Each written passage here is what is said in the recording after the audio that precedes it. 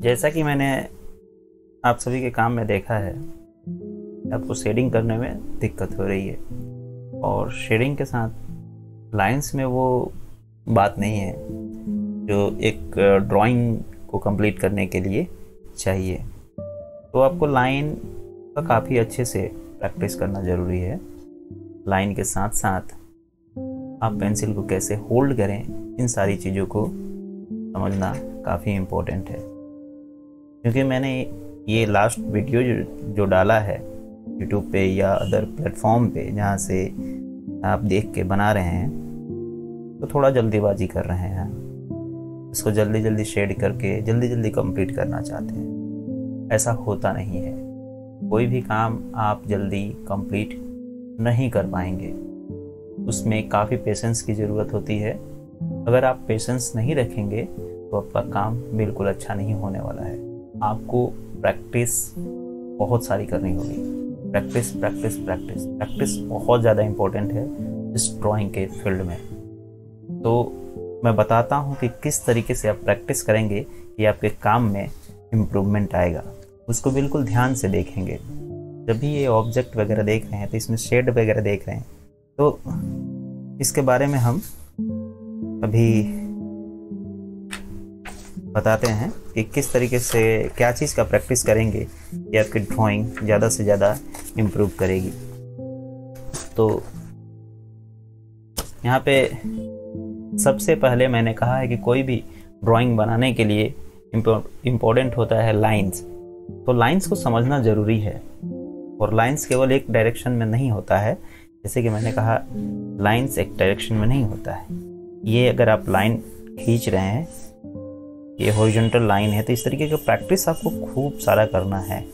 इस तरीके के लाइंस की प्रैक्टिस आपको जितना हो सके उतना करना है।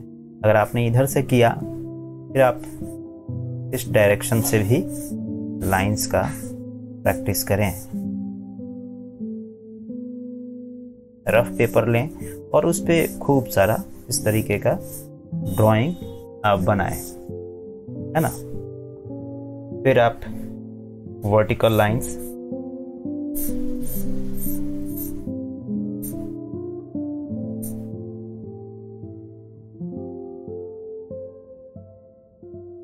डायगनली भी जाएँगे।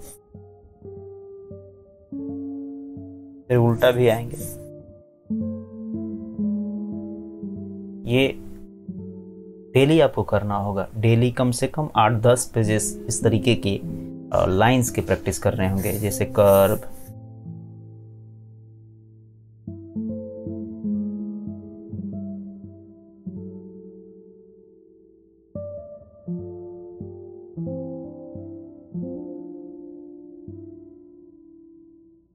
इस तरीके की लाइंस जितना बना सके सर्कल ड्रॉ करना।